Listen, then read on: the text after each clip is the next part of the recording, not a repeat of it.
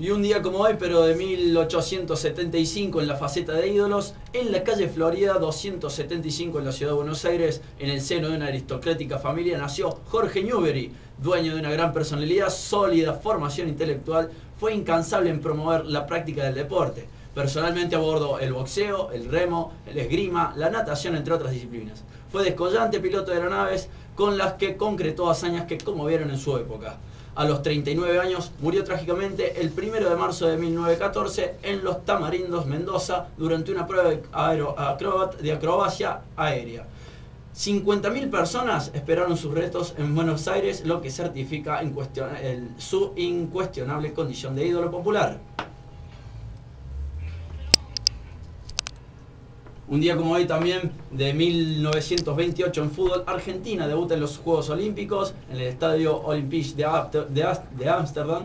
Vence a los Estados Unidos por 11 a 2 con goles de Tarasconi, Cherro, Orsi y el Nolo Ferreira. Un 29 de mayo, pero de 1979 en golf, Vicente el Chino Fernández ganó el Colgate PGA Tour en San Andrew, Inglaterra. Un día como hoy, pero el 2005, también en golf, el cordobés Ángel Cabrera logró el triunfo más importante de su carrera hasta ese momento al imponerse en Whitmore, Inglaterra, en el BMW Championship, este certamen segundo torneo en importancia del circuito europeo del PGA, con 273 golpes, 15 bajo el par. Cabrera postergó Hernández Pat McKillen y embolsó un premio de 660.660 euros.